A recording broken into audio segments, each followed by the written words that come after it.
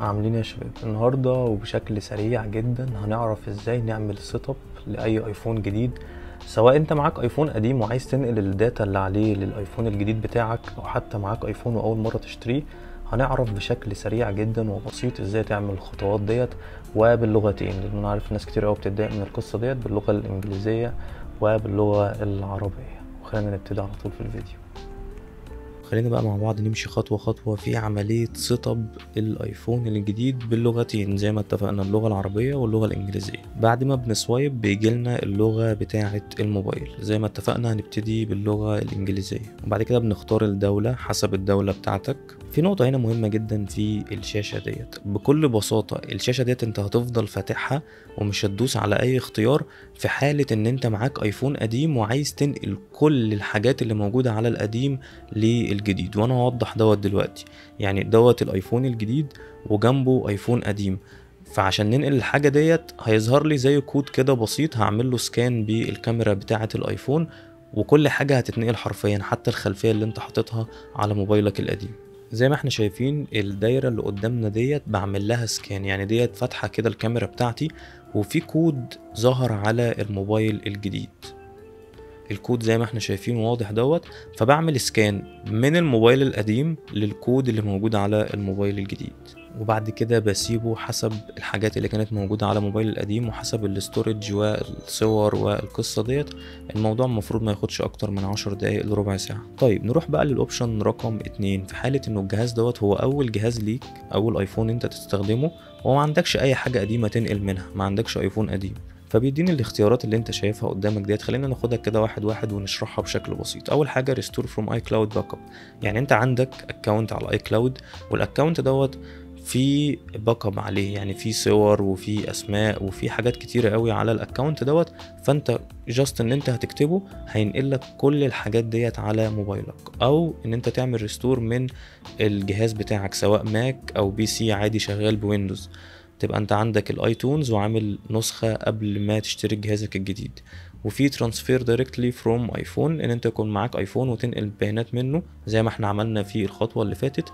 وفي الحاجة اللي بعد كده move data from Android الموضوع دوت بصراحة أنا ما جربتوش لأن ما كانش معايا موبايل أندرويد وآخر حاجة عندنا don't transfer app and data وديت اللي إحنا هنختارها لأن إحنا أول مرة نستخدم ايفون وحتى ما عندناش iCloud وهنبتدي نعمل الكلام دوت مع بعض. بيظهر لي هنا بكل بساطة ال account بتاع ال iCloud بتاعي. إحنا لسه قايلين حالا إن إحنا ما معناش iCloud فهنقول له forgot password or don't have an Apple ID أنا نسيت ال password أو ما معيش أصلا Apple ID بعد ما نختارها بنختار set up later in settings إن إحنا بعد كده هنعمل قصة ال iCloud ديت في ال setting وهنوضحها مع بعض.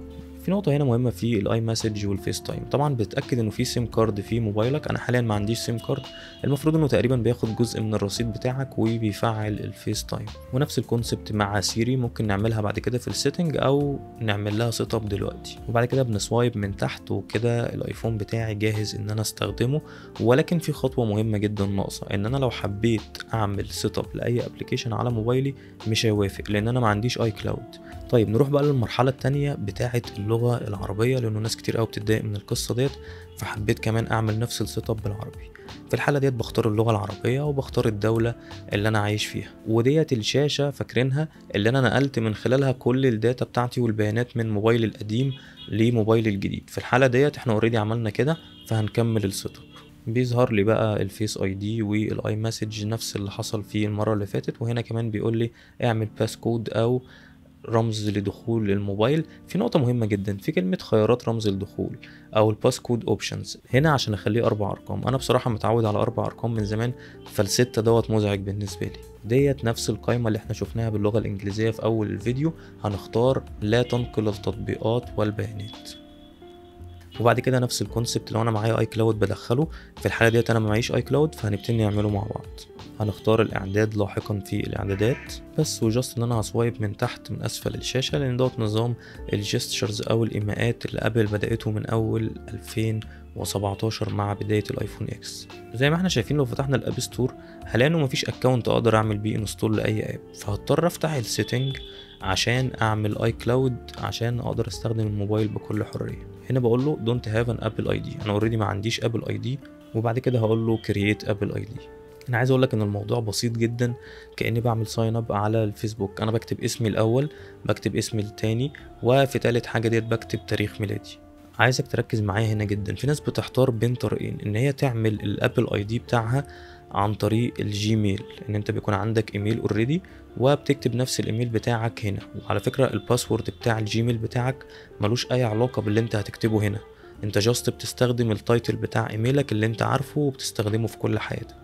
وفي ناس بتفضل إن هي تعمل iCloud at iCloud مش at Gmail ولا at Hotmail ولا الكلام دوت.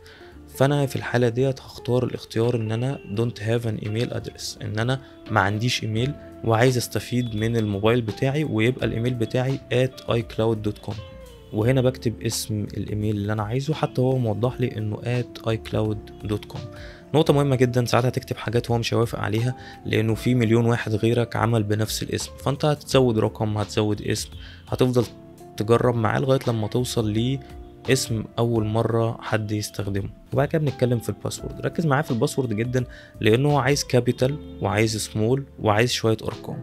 وال password نفسه ما يقلش عن 8 حروف. ونفس ال concept بيحصل لو موبايلك معمول باللغة العربية بتفتح ال setting وبتختار إن أنت ما عندكش Apple ID وبعد كده بتقول له إنشاء Apple ID وبتكتب اسمك الأول وبتكتب اسمك التاني وبتكتب تاريخ ميلادك وبتقول له إن أنا ما عنديش آه إيميل أقدر أدخله فبالتالي بيسمح لك إن أنت تعمل iCloud account اللي هو icloud.com وبتمشي على نفس الخطوات وبكده يبقى انت عملت setup لأول ايفون تستخدمه أو حتى تاني ايفون لو معاك ايفون قديم بكل سهولة وبساطة.